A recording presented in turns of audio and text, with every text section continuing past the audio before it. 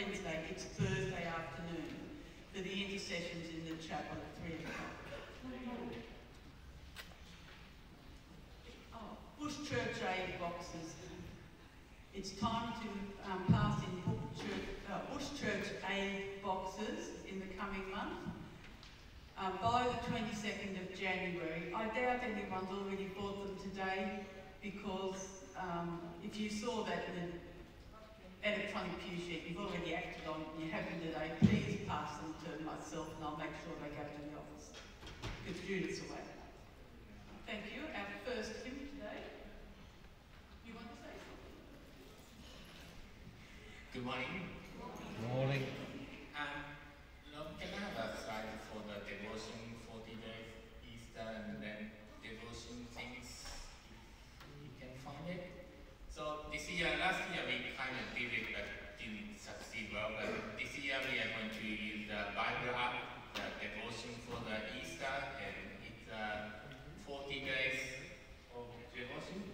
And so, and if you are not familiar with the using app and Bible app, and that's fine. If you write down your email, you will send the link to the website that has a devotion every day. So, and so you can go through 40 days. That's actually 47 days, but then we skip the Sundays, so that's only have 40 days. And so, and if you have the Bible app on your phone or iPad or tablet, and you can join and you can comment on the, the what you have read, and then you can share your what you found out, what was impacted you, and those things, so you can join. So when you receive the email, you will have a link to the website and link to the joining the app. So one or the other, but I thought it's a great idea just we study and prepare for the Easter and for doing same study.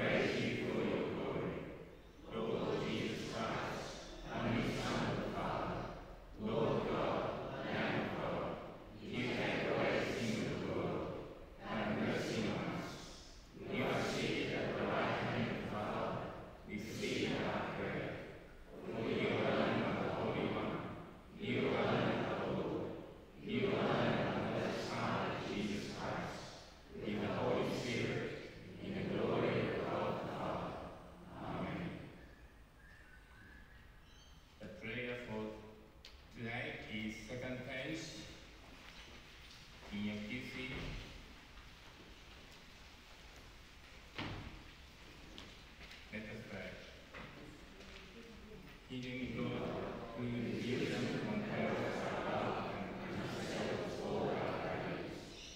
Fill us with desire to search for the truth, that we may transform the world, becoming fools for our sake. Through Jesus Christ, your word and wisdom, and the flesh, to whom be glory forever. Amen. Please be seated for the ministry of word.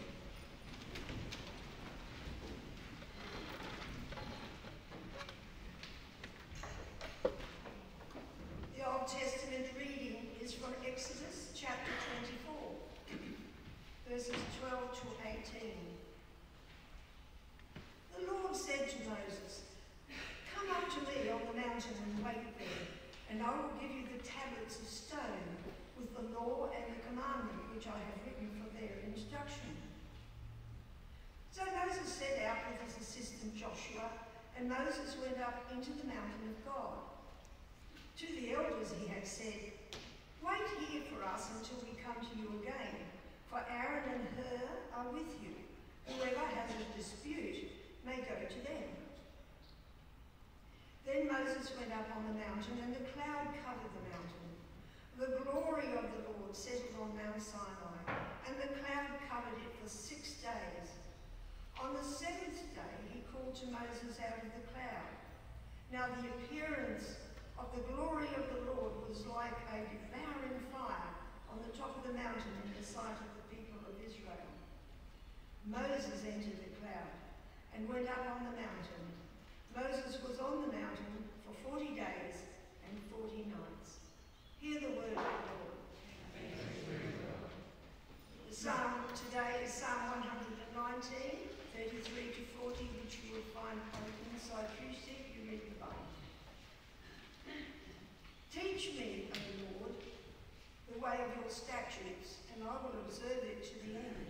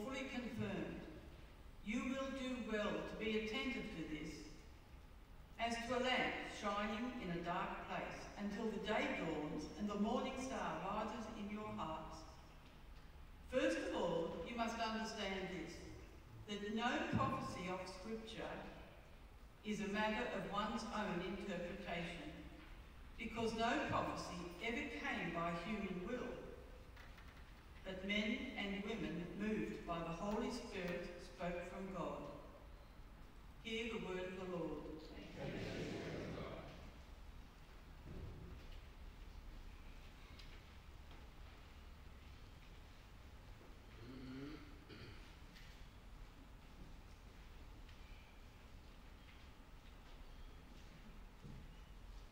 Would you please stand?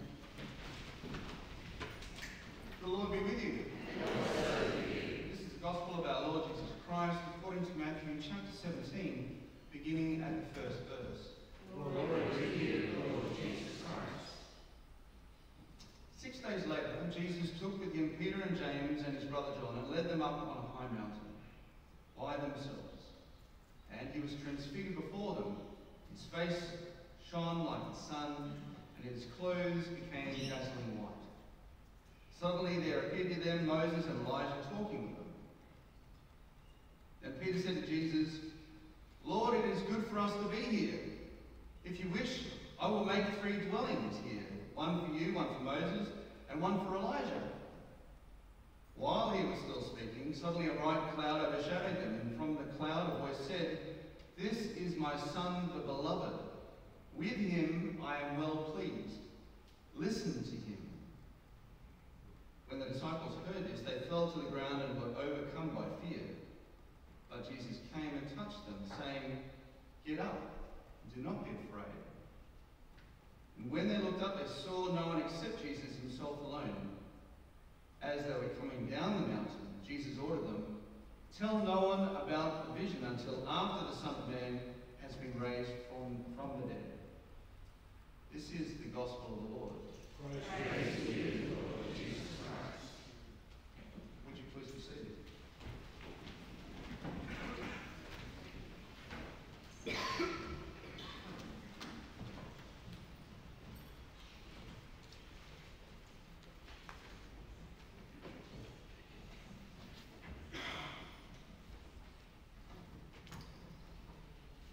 Well, let's pray.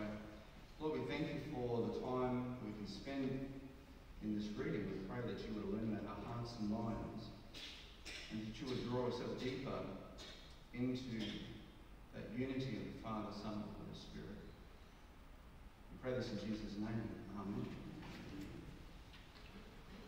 So the uh, Transfiguration is um, uh, something that we look at every year, and so there might be a few points and things that we talk about today, which is uh, just going over things that you already know. So pray if it is, please bear with me, but hopefully we may be able to share some other insight that illuminates your walk with the Lord today. When we talk about transformations in life, there's many kinds of transformations that I guess we all go through. Uh, I had one transformation years ago uh, where I shaved my head and my beard uh, for shave for a cure. And uh, I do look like a different person. One day, when I get to know you better, I'll show you that. I hopefully I don't traumatise you as much as I traumatised my son at the time because it was his party, and I think he freaked out. He didn't know what it was. Anyway, that's not the good kind of transformation. Um, well, not for my self-worth anyway. Uh, but the other transformation for me even has been uh, at times when I've exercised, and I haven't found the rhythm as such um, being here just yet. But when I have, um, it was that running used to help, or lifting weights would help. And in those times, it was also that the Lord was not only transforming my, my body physically, but also transforming my mind. It was a time that the Lord would talk to me about different things and help me understand maybe um, things about ministry or myself, um, my leadership. So uh, that's been a, that's a great time for me. I wonder what that looks like for you. What's your time with the Lord that might transformation, uh, the Lord transform some of your thinking? Now you may not be a runner, but maybe you've run perhaps a mental game of faith. I wonder what that's like for you. But I guess whether it's running or exercising or running of faith, we all hit mental walls. Times that we're challenged to stop or to give up.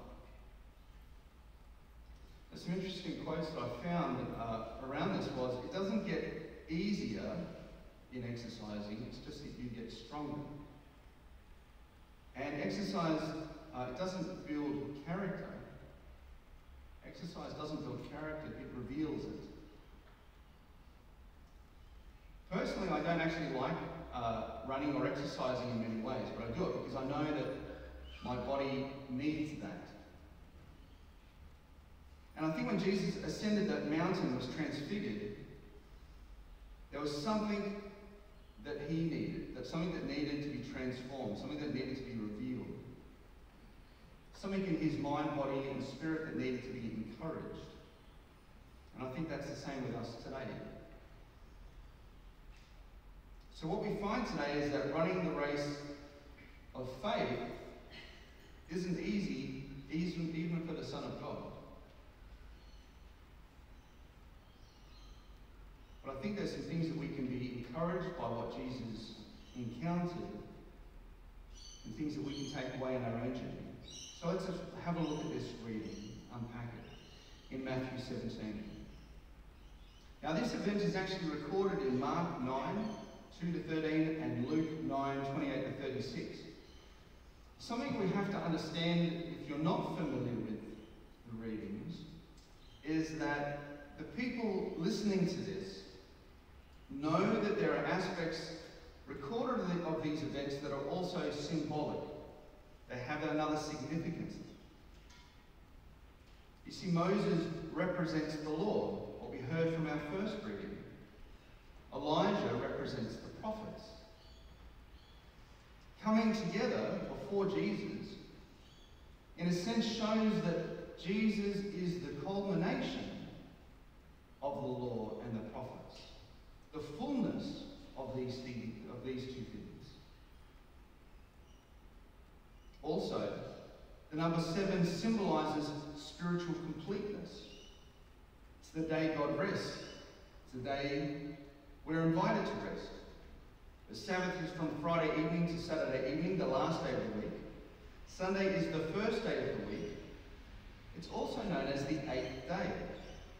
And eight symbolizes God's abundance. Seven is perfection, eight is abundance. So this first day of the week, or this eighth day, was the day Jesus was resurrected. Luke, Luke's gospel tells us Jesus went to the mountaintop on the eighth day, showing that something abundant was to happen.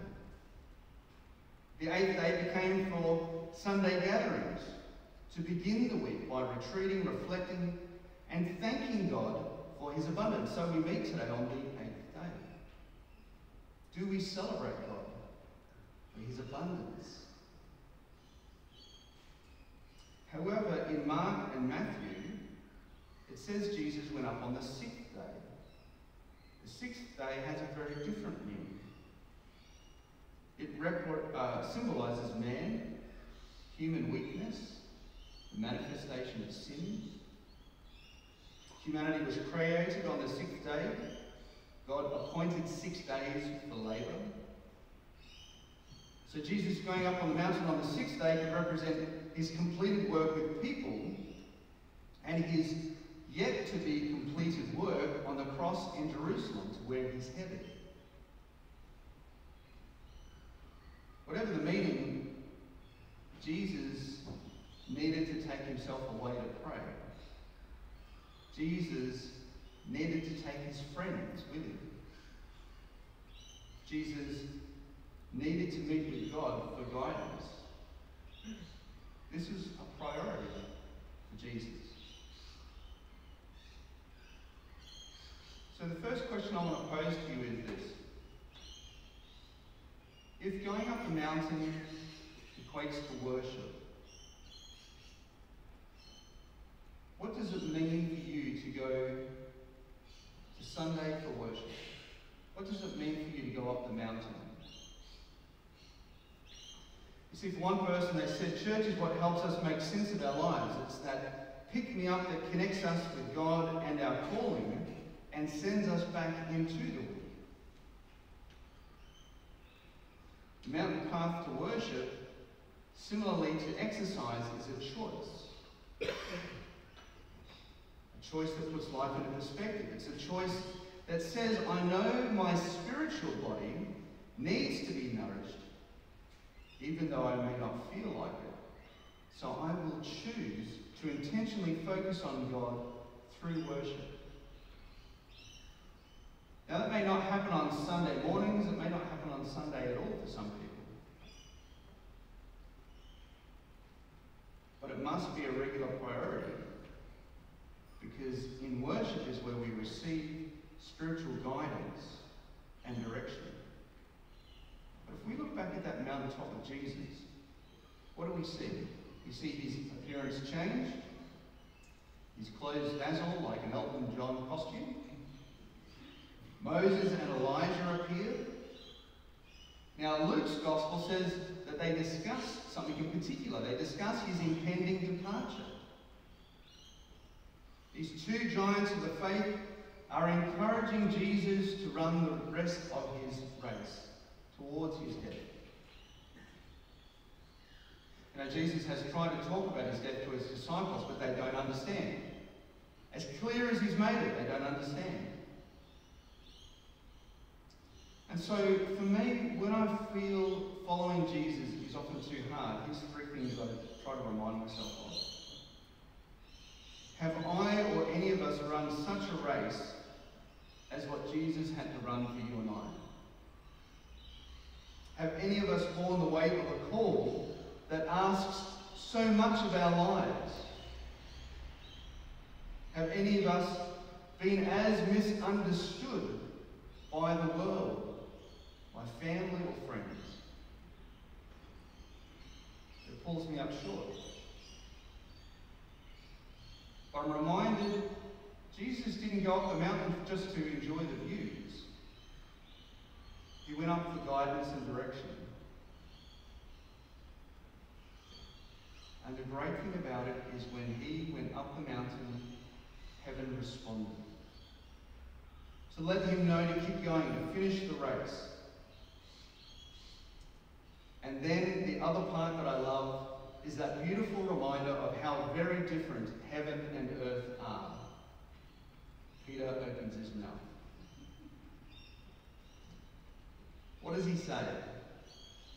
Let's build a tent. Have you ever wondered where on earth he was going to get the materials to build this dwelling place?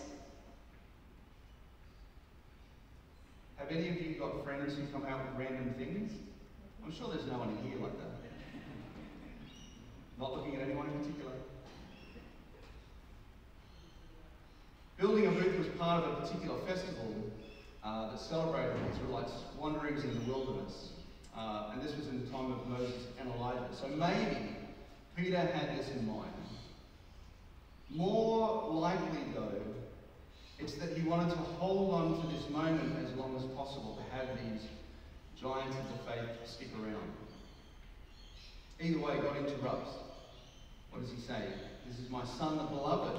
Listen to him. Again, why does God say this?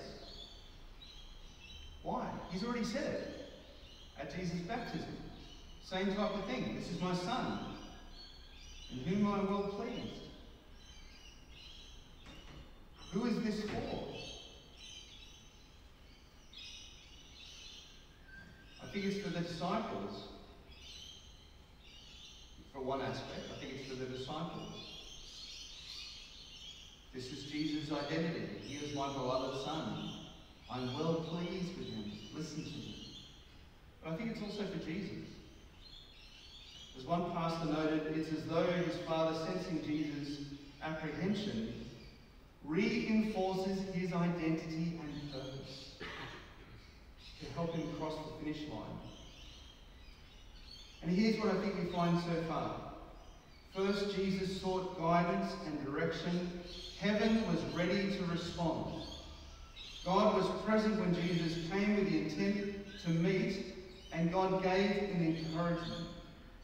However, God did not make Jesus' race easier, He strengthened him to keep going. So I'll ask again what do you expect when you go up the mountain to worship? What do you expect when you come here on Sundays? So let me ask you this other question. How do you want the mountaintop experience, the time in worship, to transform you? Is it like Peter? Is it an experience to hold on to? You see, when we retreat, we gather to worship, pray, listen to the word, immerse ourselves in the significance of the cross, encourage each other. In this, Christ is united in us for a purpose. The first is to glorify God. We come to glorify God for all that He is, all that He has done, all that God will do. And the other is to do as one minister pointed out. If worship is a retreat, it is not a retreat from the world, but a retreat in order to come back to the world in love, grace, and mercy. It is not a retreat to get away, but a retreat so that we may go back. Worship is where we should be refreshed, but refreshed to return to the everyday world, that place where you and I find human need. You see, Jesus and his disciples will head down the mountain and back into the world. And this moment will stay with Peter, James, and John forever. Peter, we heard, talked about it. Their witness, their witness of that moment has inspired the church for 2,000 years.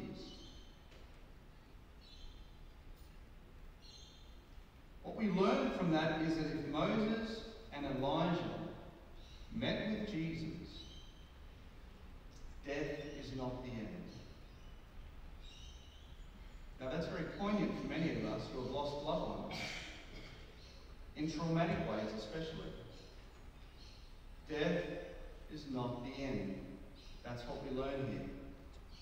Communion with God and loved ones who have died is what awaits us. But for now, our time in worship is where transformation continually is to occur.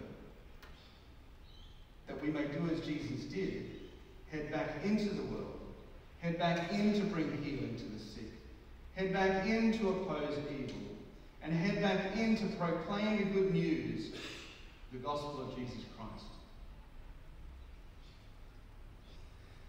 As he said, to put your hand up and accept Christ, to live for Christ, is an instant exclusion for friends and family and even workplaces.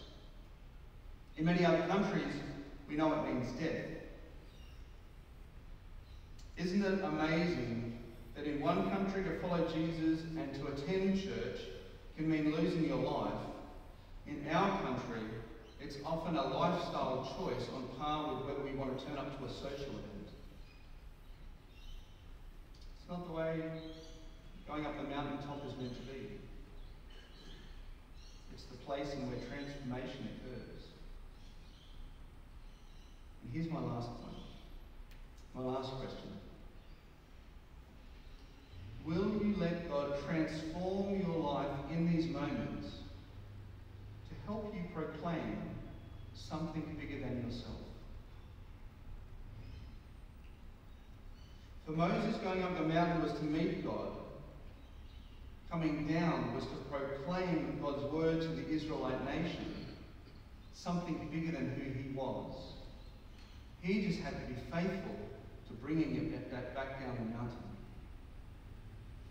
Jesus would do the same. As he goes up to Golgotha, he will show the power of God in a different way. In dying, he was empowered to offer something more than his humanity. He's given an authority to offer you and I eternal life. But it was in his death to his humanity that the divine could be fully revealed.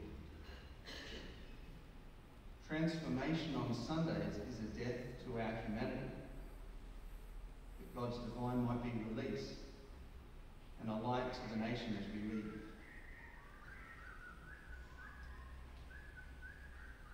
If we truly desire to have something important to offer the world, it can only come if we humble ourselves and die.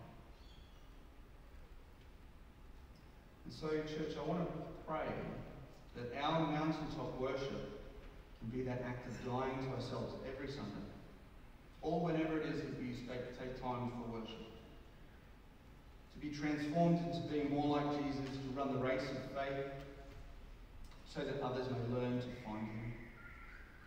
And I pray that this eighth day of worship will help you and I be transfigured into the light of Christ's love that you and I may know the presence of heaven is with us today. Let's pray. Lord, we thank you that we don't have to tick a bunch of boxes. We don't have to perform a number of different rituals. We don't have to do anything other than just come and say, Here we are to worship. We don't have to do anything other than just present ourselves with hearts that yearn to meet with you. And so we ask, Lord, as we yearn to meet with you, help us to be encouraged in the race of our faith. Help us to know that we have met with you, to receive that encouragement, that guidance that only can come through our time in worship. Oh Lord, help us be strengthened to go back into the world, to bring your healing, wholeness, love, grace, and mercy as we present Christ, the ultimate healer for our humanity. I pray this in Jesus' name.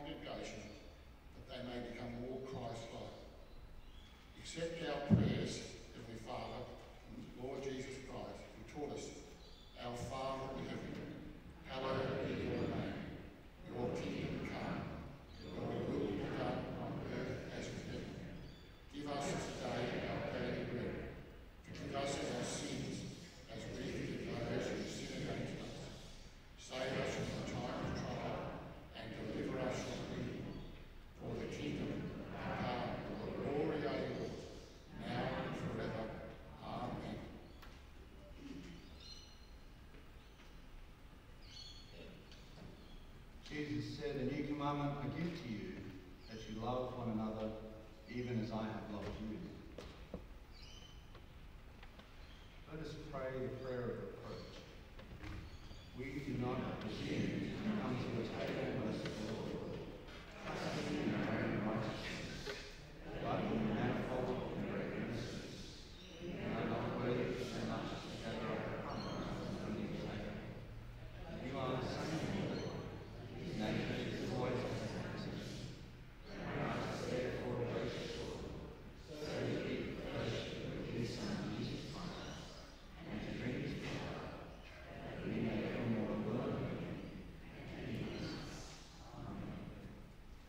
Understand.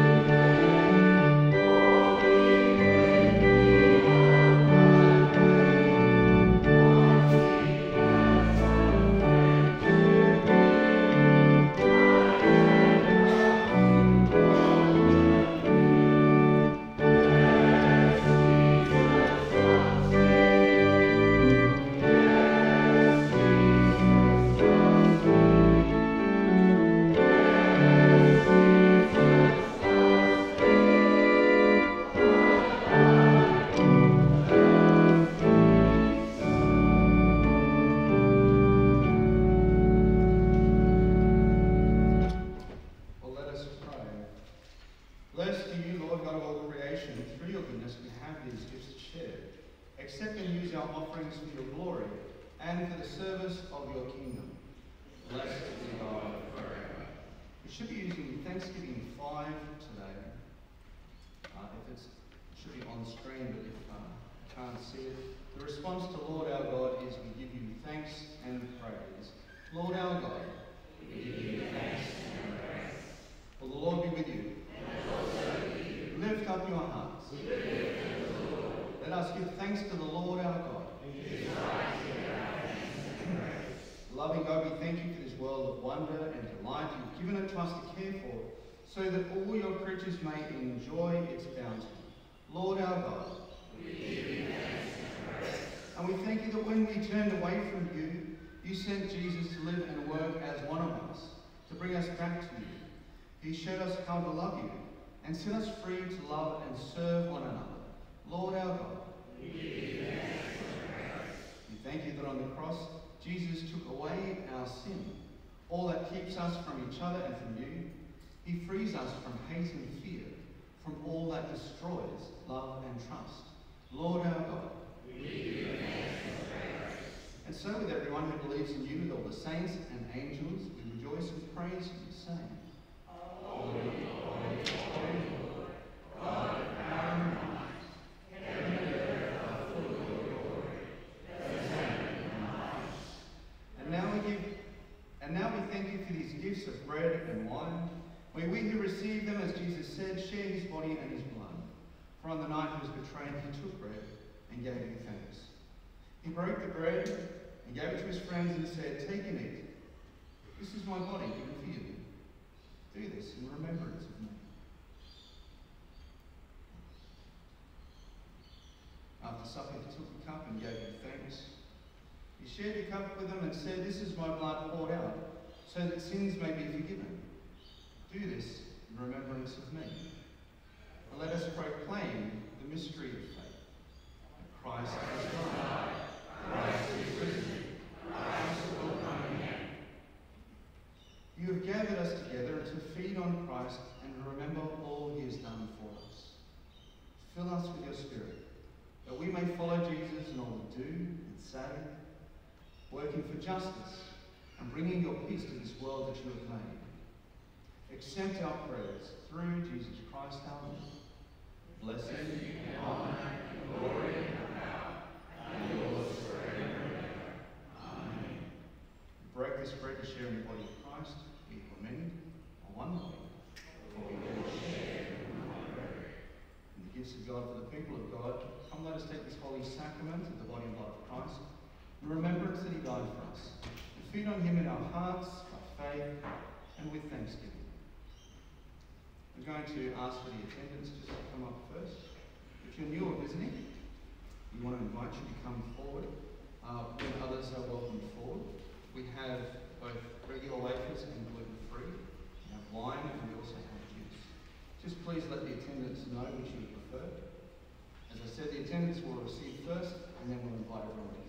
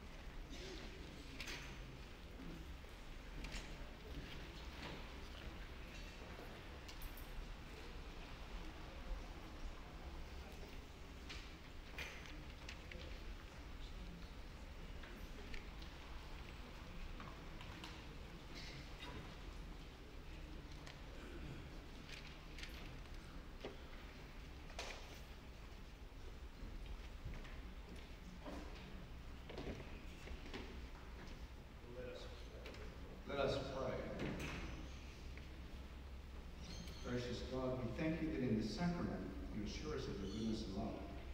Accept our sacrifice of praise and thanksgiving and help us to grow in love and obedience.